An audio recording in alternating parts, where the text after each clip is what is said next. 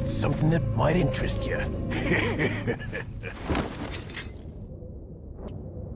What are you buying?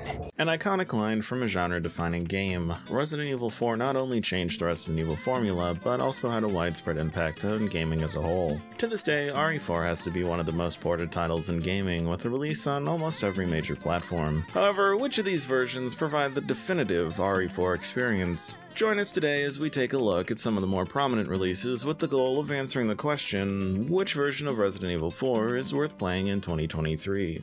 Originally released in 2005 exclusively for Nintendo's GameCube, boy did that not last long, this game marked the beginning of Resident Evil's switch from a fixed camera survival horror experience to that of a third person action shooter. Normally when a series receives a massive change like this, it isn't taken too well by the fanbase. However, in this case it led to RE4 becoming one of the most highly rated titles in the series.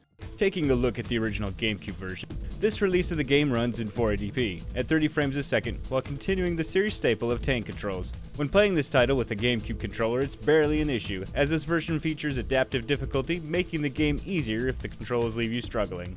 This version also features three different modes the main campaign, mercenaries, and assignment Ada. When it comes to the main campaign, you take on the role of Leon Kennedy, as he's tasked with rescuing the president's daughter from a cult.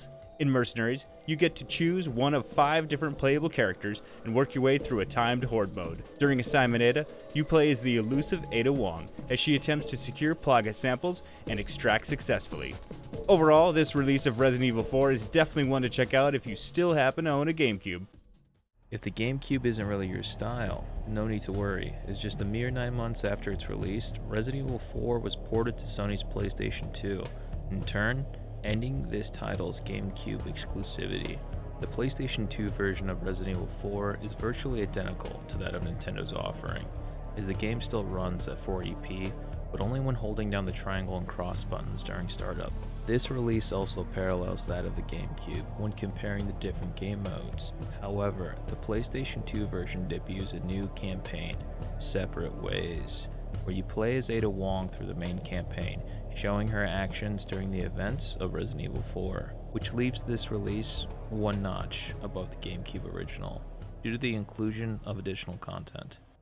A popular release among fans would be the 2007 port for the Nintendo Wii. This version of the game contains all the same content the PS2 offers, but adds motion control aiming. Now, you may be wondering how motion controls make this version so popular, and to answer that question, it'd be better to just show you.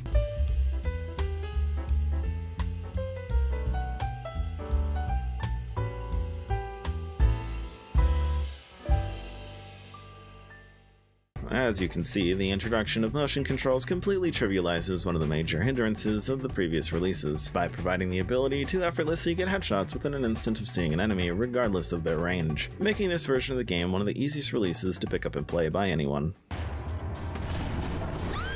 Quiet, you little brat!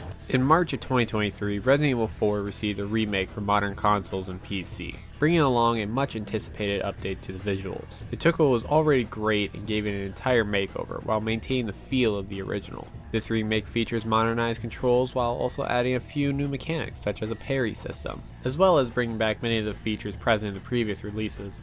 The remake does have a few changes when it comes to the content. Certain enemies, areas, and side content like Ada Wong's assignment Ada in separate ways are currently missing from the game. At launch, the Mercenaries mode was absent as well, but has since been added as DLC, which leaves the possibility of these cut modes being added to the game in the future. This is the best Resident Evil remake yet, making this version of a game a great option to have as an updated Resident Evil 4 experience. Now that we've taken a look at some of the more notable releases of RE4, it's time to answer the age-old question, which version of Resident Evil 4 is worth playing in 2023? To be honest, any version is a great way to experience this gaming classic. However, if you're planning to only play one of the original releases or just the remake, I would highly recommend giving both a go as they each have their ups and downs, whether it be due to age or missing content. So with that, if you enjoyed, please leave a like and comment down below which release of RE4 was your first playthrough on, and be sure to subscribe as to not miss any new videos from the network, and we'll see you in the next one.